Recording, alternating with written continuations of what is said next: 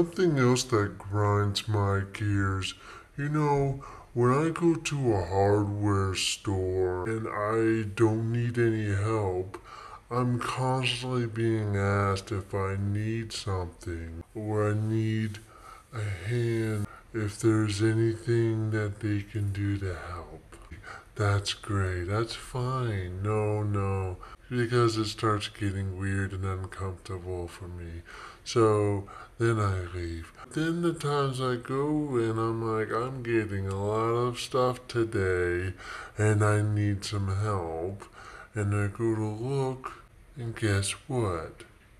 There's nobody that can help me. There's nobody. Like, I don't see anybody. Okay. Do I just get it for free then? They've learned that when they see this face, just to hide. I think it's on purpose. I think they've learned about me and don't want to even deal with it, so then they hide. And I'm left to do it myself. But you know what? Eh, fine, fine.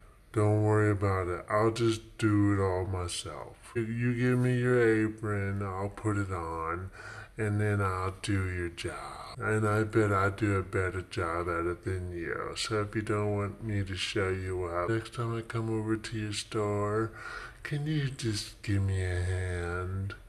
I'd appreciate it.